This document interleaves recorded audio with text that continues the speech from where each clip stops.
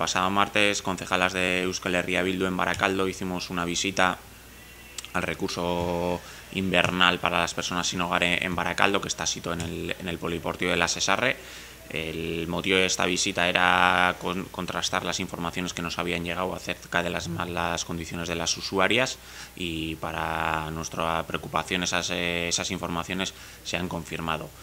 Eh, intentamos hacer una visita de manera oficial, pero no hemos podido hacerla, por lo tanto decidimos bajar, a, bajar al sitio. Y si es verdad que lo que, lo que observamos es que las mujeres eh, duermen en una situación muy, muy precaria, ya que duermen en, el vestuario, en uno de los vestuarios que tiene contiguo en el mismo vestuario unas duchas y por lo tanto cuando se ducha se, eh, moja el suelo y, se mojan las colchonetas. Solo hay plazas para cuatro personas, pero sí, para cuatro mujeres, pero sí nos dio una sensación de semi-hacinamiento, ya que no tiene ningún, ningún, ningún sitio para, para poder maniobrar ni para poder moverse.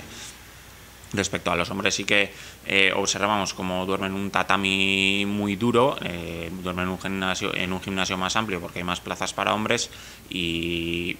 y sí observamos como eh,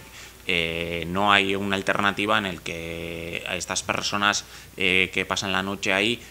puedan dormir de una manera un poco más digna de la que lo hacen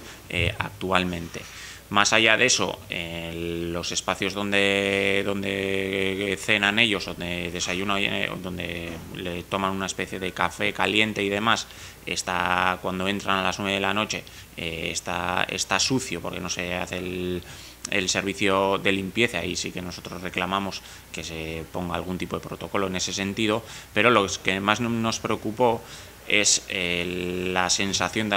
ausencia de control por parte del ayuntamiento a la asociación que, que, explota, que explota el servicio. Se destina dinero público para que las personas sin hogar no duerman al intemperie en la calle, pero eh, no se lleva ningún control, no se, no se hace ningún seguimiento desde nuestra perspectiva, ya que si estamos en la situación actual